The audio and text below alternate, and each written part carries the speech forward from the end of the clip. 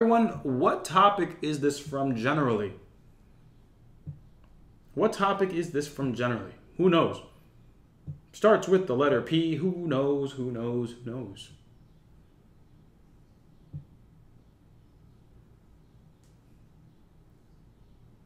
I'll wait. yeah, it's going to be polynomials. That's right. Thank you, Denzel, Danielle, and Catherine. That is going to be polynomials. So specifically what we're doing here is factoring polynomials. So again, this is going to be polynomials. And specifically, this one has to do with factoring. So let me take that and actually move it out of the way a little bit. But we are going to be factoring polynomials here. no worries, no worries, David. So here's how this works. Here's how the essential idea works. First off, I'm going to tell you what unit this is from. This is going to be unit 7 in math knowledge, right here. Math MK unit 7. MK unit 7. Factoring polynomials is its own unit entirely to make sure that you know how to do this from start to finish. So, here's how this works. Basically, if you're trying to factor a polynomial, a trinomial, three terms here, here's what you do. First, we need to see that this is in the form a, let me use a different color here. Uh, yeah, actually, ax squared plus b x plus c. All right, I'm going to use different colors here. I'm specifically going to mark the b and the c. Everyone, do you see the pattern that I'm showing here? ax squared, x squared, plus bx, 11x, plus c, 18. Is it clear to you that b is 11 and c is 18? Is that clear to you in terms of what I'm showing here? Cool. Cool. So now that we've identified the way it's set up, quote unquote, all we need to do is know this process. The process to find the factors to find the factors. Step one, find the factors of C.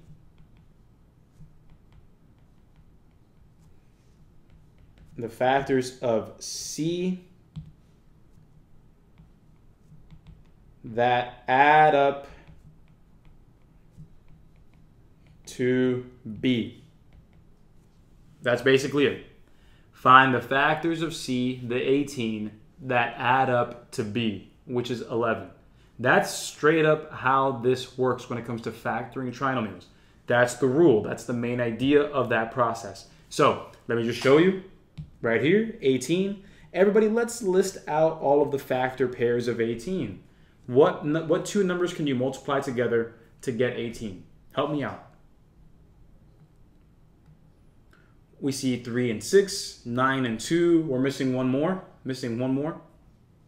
It's the one that's obvious that everyone always mis, uh, overlooks. Yeah, that's going to be 1 times 18. So the first set again, 1 times 18. That's a factor pair of 18. 2 times 9, that's another factor pair. And 3 times 6. So those are the factors of 18. Now, the second question is, once you have those factors listed right here, it's, hey guys, uh, which pair adds up to the B? Which pair of these adds up to the 11?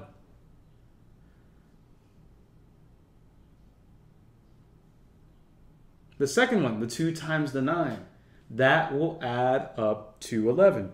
So again, C, 18, equals 2 times 9.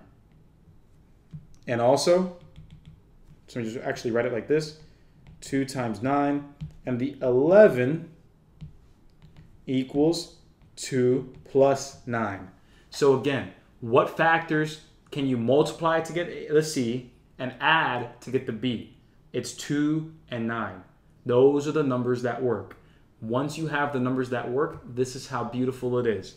This is how beautiful it turns out to be you just have x and x. And so the factors that you have are right here. Let me go and use purple, 2 times 9. So what you'll do, since you have a positive 2 and a positive 9, that'll be plus 2, plus 9, and you're done. And that's it. Does that make uh, any sort of sense to anybody who's struggled with this before? Find the factors of C, find the factors of 18 that add up to B, that add up to that 11 in the middle. That's all you need. Find that pattern, boom, you're done.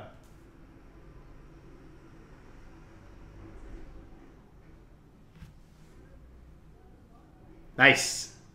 Nice, nice, nice.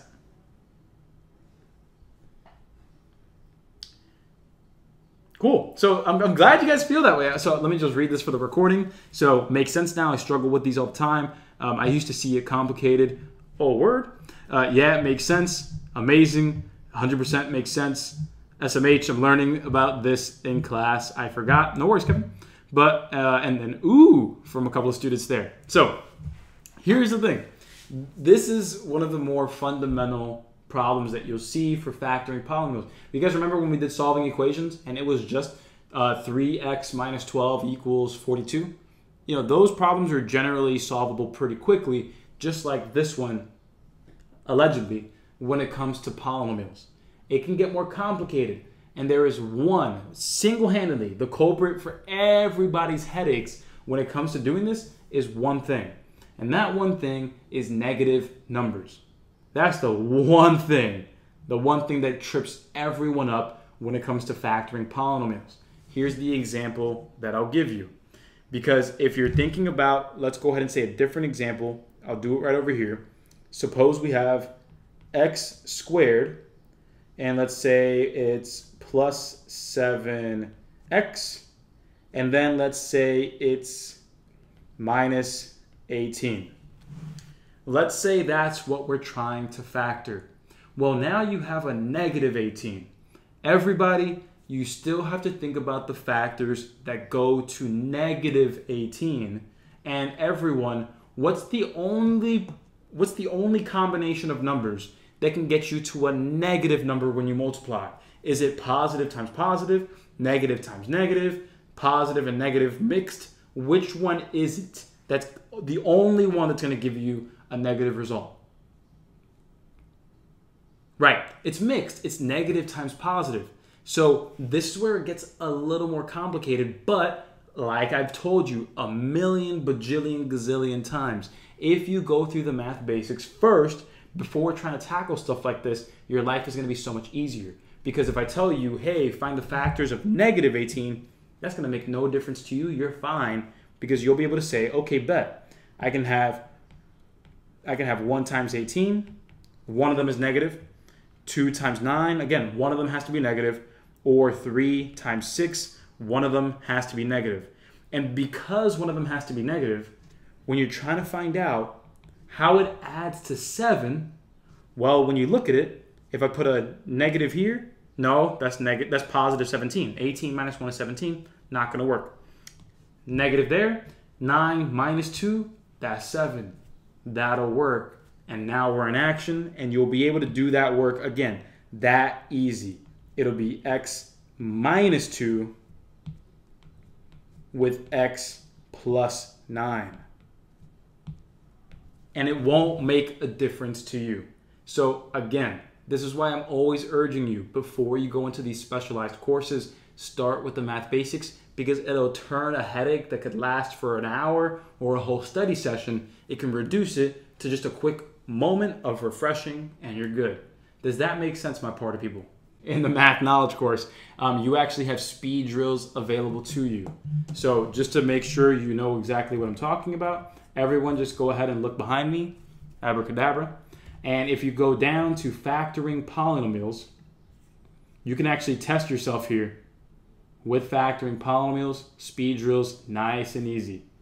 So you have right over here, you can go ahead and factor trinomials with the leading coefficient being easy enough, right there, casual speed drill.